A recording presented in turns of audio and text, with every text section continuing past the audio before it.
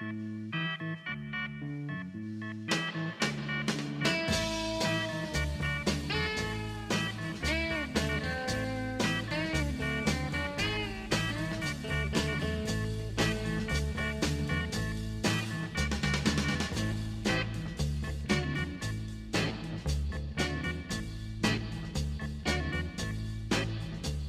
the clock says it's time to close